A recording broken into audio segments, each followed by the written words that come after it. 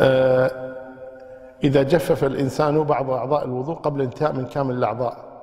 هل ينت... لا هو هذه المسألة وهي الموالاة الموالاة في الوضوء أنها يعني من أركان الوضوء من أركان الوضوء من أركان الغسل. الموالاة أنه يعني ما يأخر بين غسل عضو وعضو وإنما يغسلها وراء بعض مباشرة.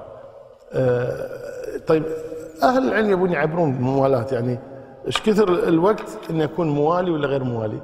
قال يعني وقت قصير عرفا وقت قصير عرفا. فبعضهم عبر عنها باجتهاده قال بحيث قبل أن يجف العضو اللي قبله قبل أن يجف العضو الذي قبله. يريد يعني الوقت. يعني الآن كم يأخذ؟ أنت لما تتوضا ما ما ما نشفت إيدك. كم تأخذ وقت حتى تنشف؟ ها؟ دقيقة. طبعا يختلف من جسم لجسم لكن في الغالب كم ياخذ دقيقتين مثلا. تنشف اليد تماما كأنك ما غسلتها. زين؟ تاخذ دقيقتين. قالوا اذا ما تقعد دقيقتين بين آه، تغسيل اليدين ومسح الرأس مثلا.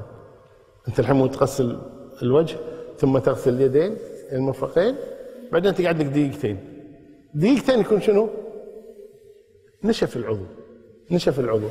زين بعدين تمسح راسك تقول له أنت طولت. طولتها. واضح ولا لا؟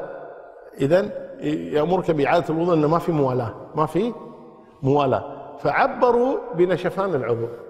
لكن لو آه أنا جيت وتوضيت خاصة الإنسان أحيانا يكون مسافرا في مكان ما يبي يطيح ماي بالارض ولا شيء كذي مثلا فيتوضأ مثلا يغسل يدينه يغسل يغسل الوجه يغسل اليدين وينشفهم مباشرة مثلا قبل أن يمسح رأسه. نشف يدينا وبعدين مسح. ما فيها شيء. لا يقال هنا أخل بالموالاة. لماذا؟ ما راح وقت.